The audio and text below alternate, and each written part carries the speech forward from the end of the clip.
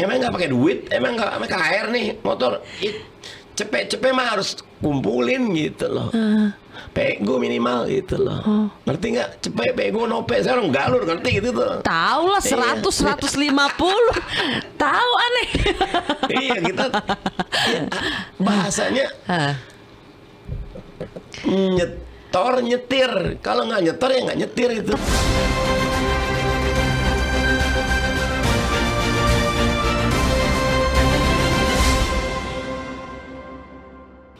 Kalau kita mau fair-fairan ya Bang Mardi evaluasi nih. Apa strategi yang dimiliki 03 yang tidak dimiliki 01? Eh, kecepatan eksekusi. Saya ada cerita kecil gitu. Apa tuh Bang? Saya punya tim namanya Revisi Jakarta, anak muda cakep-cakep itu, bukan kelompok PKS. Deket sama saya. Berapa kali kita bikin acara? Dua kali ketemu sama Mas Suswono. Nggak cepat ditanggapi, tiba-tiba diambil.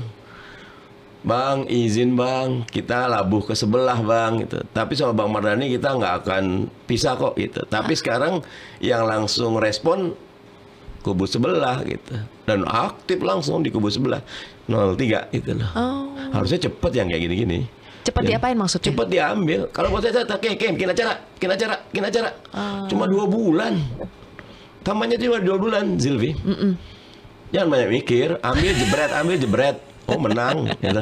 yakin Padahal kan ini koalisi besar banget loh Bang di belakangnya Rido. Berapa? Koali- 12 koalisi besar partai. itu kalau eh, efektif jadi kekuatan besar. Iya. Kalau tidak efektif, masing-masing punya kepala, nggak jalan-jalan.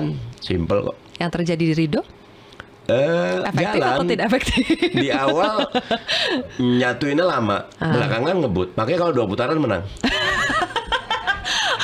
Selalu berlindungnya di balik dua putaran. Bukan berlindung memang faktanya gitu loh. Belum, belum fakta. Dua putaran belum terjadi, iya, Bang. maksudnya faktanya kami, kami udah mulai rapi. Ah. Aduh, tinggal selangkah itu. Oke, berarti yang kurang adalah eksekusinya kurang cepat dibandingkan 03 Kurang ya. cepet. Oke. Eh, tapi ada juga beberapa momen yang dianggap blunder, Bang. Misalnya, ini sensitif ya, tapi harus saya ungkit supaya kita sama-sama analisa.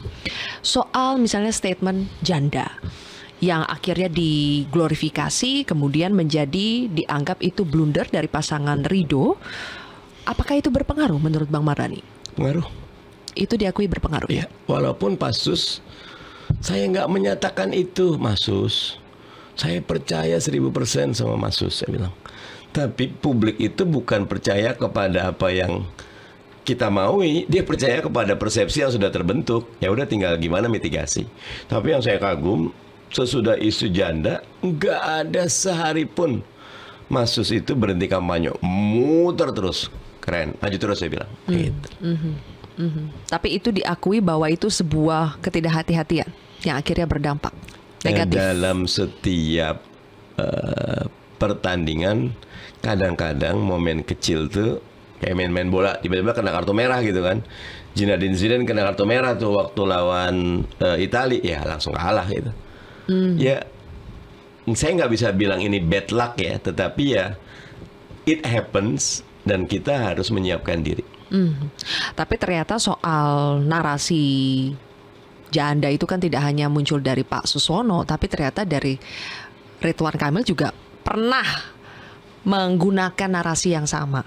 Kita lihat itu videonya di di panggung besar bahwa janda ini akan diurus oleh ini, akan diurus oleh ini. Itu tidak seharusnya terjadi, Kalau Bang Mardani. secara umum niatnya baik, tapi cara penyampaiannya memang tidak tepat. Dan dalam konteks pilkada, sesuatu yang tidak tepat itu dampaknya berat. Dan kita terima aja. Kalau buat saya, kalau kasih ya udah terima. Dan nggak usah dinegasikan. Dan Masus bagus kok. Langsung saya minta maaf. Salah, deal, selesai. Maju lagi. Biasa kok. Biasa tapi itu berdampak negatif ya, Ada Bang. dampak. Ya, kami punya kajian. Di tiga hari pertama tinggi, berikutnya biasa. Di di media di zaman sekarang tuh Zilvi, badai itu tiga hari aja gitu. Kalau tiga hari lewat, selamat kita. Tapi jangan dinormalisasi ya, Bang. normalisasi Maksudnya sekarang kan lagi tren nih bang. Apa-apa dibilang guyon, kemudian minta maaf, kemudian ekspektasinya orang lupa gitu kan. Tapi ternyata sekarang publik makin kritis. Oh, iya, Hal-hal iya. seperti ini kan sangat sensitif dan akhirnya ada ada Ya semacam kan tadi misal kritikan penghakiman oleh publik. Pak Sus minta maaf diterima ya sudah. Hmm. Kalau Pak Sus bilang enggak kok saya, ah, itu naik lagi gitu Hmm. lah. Makanya minta maaf aja simpel kok. akui dan lebih berhati-hati ya. Iya, Oke. simple. Oke. Publik juga punya hati kok. Tapi Bang Mardani, ternyata efek dari PKS yang tidak jadi mencalonkan Anies di Jakarta, menurut ya analisa kemarin kan kami wawancara di episode sebelumnya itu Prof Burhan, itu juga berdampak kepada daerah lain yang biasanya tuh PKS selalu juara. Misalnya Kota Depok, 20 tahun dikuasai oleh PKS. Menurut hasil hitung cepat sih tumbang ini. Bang, pasangan Imam Budi Hartono, Ririn Farabi Arafik itu kalah dengan Supian Suri, Chandra Rahmansyah. Apakah itu PKS juga menilai itu ada efek dari Anies? Eh, secara umum untuk daerah perkotaan Mas Anies kuat. Makanya kemarin waktu pilpres itu desak Anies tuh pecah di perkotaan dan PKS basisnya perkotaan, jadi wajar. Ketika Anies nggak masuk, ya kita punya banyak pertanyaan. Tapi kasus Depok agak spesifik. Karena lawannya Imam ini kan kalau nggak salah ponakan eh, Idris. Dan saya ingatnya yang didorong dari awal oleh wali kota incumbent yang dari PKS bukan Imam Idris ini. Dan dia PKS sendiri loh. Udah hampir syukur dapat Golkar itu. Tapi sisanya ke sana. Jadi dengan angka 48 teman-teman masih bilang masih 50-an gitu loh. Gede juga Imam.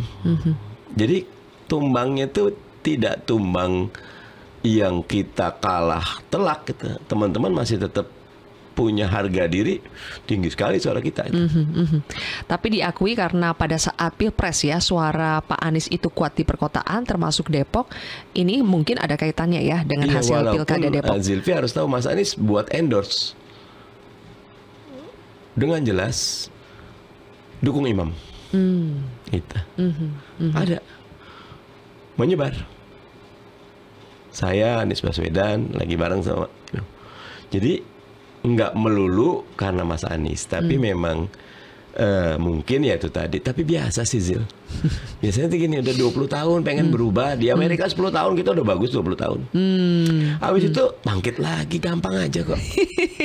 Di politik tuh jangan marah, jangan ngambek, Jangan baper ya, Bang. baper, bangkit lagi. Ah. Dan jadi bagus kan kompetisi kan. Iya iya iya iya. Kok. Ini Bang Mardani enaknya begini nih.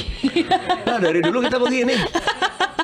Masa di politik baper gitu loh. Iya, iya, iya. There is no rocket science in politik. Hmm. Makanya saya bilang dua putaran menang tuh punya formulanya kita itu loh. No rocket science kok. Bang, masih masih yakin ah, bak- bakal ada dua putaran? Kalau yakin Jakarta ya? tidaknya itu tugasnya teman-teman yang lagi kerja nih. Ah, ah. Tapi kalau dua putaran, saya yakin menang. kalau apakah dua putaran tidak, saya masih doa. Tapi teman-teman yang usaha, gitu. ya teman yang kerja keras kan nih, ini kayak Pak Riza Ariza Patria luar biasa, Basri Baco luar biasa, Abdul Aziz Adwani yang tim di, saya baru sekali tuh, Hamin satu saya ke situ. Ah. eh, untuk ketemu sama teman-teman Betawi karena hasil surveinya Betawi lama kekalan nih dan. Ya sudah saya kerjain. Saya dua aja kanan Betawi kanan Betawi. Kebetulan kita orang Betawi Ah. kanan saya deket gitu lah. Ah, Oke, jadi dua putaran itu masih ada menang kita dua putaran. Kalau dua putarannya terjadi. Pertanyaan saya, apakah dua putaran itu bakal terjadi? tunggu saat KPU mengumumkan dan apa respon kita terhadap pengumuman KPU Bang Mardani biasanya paling paling ilmiah nih kalau sudah melihat hitung cepat. Kalau sudah apalagi sekarang bukan hitung cepat sudah ada real count KPU. Eh, tapi kan 50,07 kalau 51 52 aja gitu simple itu nggak too close to call Kalau sekarang tuh close to call. Oke, Bang, ada statement yang lucu dari Bang Mardani. Kemarin Prof Burhan bilangnya ini Bang Mardani ini terlalu jujur ini, polos sekali bilang karena habis logistiknya buat pilpres sama pileg, makanya yang pilkada ini nggak maksimal. Itu bener ya Bang? Bener. Tanya semua anggota DPR. Oh. Kita kan baru terbentuk 1 Oktober. Tapi pembentukan komisi itu 22 Oktober kan nunggu. 20 Oktober pelantikan karena kita tadinya 11 tiba-tiba jadi 13 tambah badan set lagi sibuk kerjain ini ya belum ada uang macem-macem yang masuk gitu lah. Emangnya turun di Silvi saya datang nggak bawa tentengan. Ya harus bawa atuh sarungnya eh, preskernya itu yang PKS saya pertama kali nih 2016 almarhum Taufik Gerindra. Bagus banget. Kami kan cuma berdua tuh yang dukung Anies Sandi PKS Gerindra. Ah, ah, ah. Bang Taufik almarhum udah meninggal. Ah, ah, ah. Dan lo enak PKS prit kumpul kumpul. Gua nggak bisa prit kumpul prit. Ospulnya mana? Apaan bang? Os ongkos pulang. Oh, Jadi kalau ospul. partai lain itu Ah, ah. kalau ngumpulin orang harus ada ongkos pulangnya. Iya bener, gue banyak kerjaan tiba-tiba suruh dukung lo. Emang nggak pakai duit, emang nggak pakai KR nih motor. It, cepet-cepet mah harus kumpulin gitu loh. Pego minimal gitu loh. Ngerti nggak? Cepet pego nope. Sekarang galur ngerti gitu tuh. Tahu lah Iya. 100 150. Tahu aneh. iya kita iya, bahasanya Hah. nyetor nyetir. Kalau nggak nyetor ya nggak nyetir itu loh. Tapi gitu. bukannya kalau PKS biasanya lebih hemat dari partai lain kan? kan PKS-nya sudah kita rapihkan Iya. untuk menang kan harus ngumpulin yang lain. Ah, Saya punya korcam nih 10, korkol 65, kumpul. Yang mana nih bang? Kalau yang lama nggak usah lah, gue bilang lo nggak dukung nggak milih Ridho, gue pecat lo. yang baru, tentengannya apa? Simple kan gitu. ah. Duitnya nggak ada, apa yang mau ditenteng gitu kan? Emang keluar modal dari partai sendiri atau dari kantong sendiri, Bang? Iya kalau DPR Koalisi gede loh ini. DPRD provinsi dapat DPRD pusat mungkin dianggapnya udah punya duit gitu lah. DPRD provinsi dapat satu setiap setiap alat DPRD provinsi yang Kim nih dapat untuk bikin syukuran sekalian rekrutmen Hmm. untuk pendukung Ridho. Yang DPR pusat dianggap udah punya duit kali ya. Hmm. DPR pusat. Mm-mm. saya punya tugas kumpulin DPR pusat. Saya bilang, "Ki- saya mau ngumpulin, tapi nggak bisa kumpul, dukung. Bensinnya mana bang? Gue repot, gue juga nggak punya, gue bilang gitu. Jadi harus keluar dari kantong sendiri juga ya, Bang ya? Kalau Bang Mardani Terakhir dikasih dikasih dari eh, banyak sumber lah, hmm, ada sponsor-sponsornya. Eh, tim-tim yang mau bantuin itu lah. Hmm, tapi yang jelas semacam partai yang militan seperti PKS pun tetap butuh ya logistik yang besar ya, Bang. Kalau pilkada wajib, karena kita eh, nyari suara lebih kayak misal gini, kalau pileg kan sederhana. Dapil ini dibagi banyak dapil, dibagi banyak orang. Iya. Kalau pilkada seluruh Jakarta. Silvi kalau saya muter Jakarta Timur tuh, ampun udah banyak amat orang ini saya bilang ini pemilih saya ini eh ini dapil saya kita urusin semua ampun gitu loh. Kok banyak memang itu orang tuh banyak banget Silvi. Ini jalanannya udah sempit. Saya pak muter tuh pakai mobil espresso yang kecil tuh kan, Uh-uh. Suzuki. Macet kayak apa? Tapi kalau kita lihat gangnya lebih banyak orang tinggal di gang. Ah lebih ampun lagi tuh. Kadang-kadang masuk. Saya kan suka upload di TikTok tuh. Ampun. Ada berat gitu loh. Makanya saya terus terang Zilvi kepada semua yang dipileg, pilpres, pilkada saya hormat. Nggak ada suara nyasar satupun. Semuanya tuh suara ada jalurnya gitu loh. Tiba-tiba milih Zulfi nggak ada. Emang Zulfi udah datang ke situ, udah ngasih di situ, udah ngasih ceramah di situ, udah senyum di situ, udah ngasih kaos di situ, udah jalan-jalan di situ. Emang yang di situ-situ nggak pakai duit tuh. Memang begitu kan. Misal nggak ya nggak pakai duit, kita ngomong saya pakai begitu. Ah. 10 kecamatan di saya. Ambil dua contoh. Duren Sawit, Cakung.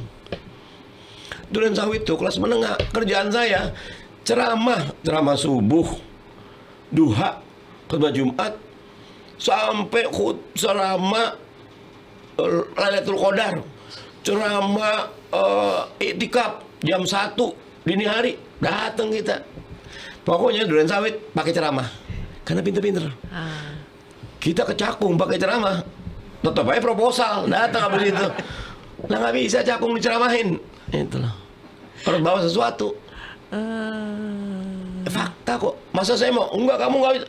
Nggak bisa kita lain lubuk, lain belalang. Eh lain padang, lain belalang, lain lubuk, lain ikan. Beda-beda dan kita harus tahu jangan sombong. Wah, nggak ada.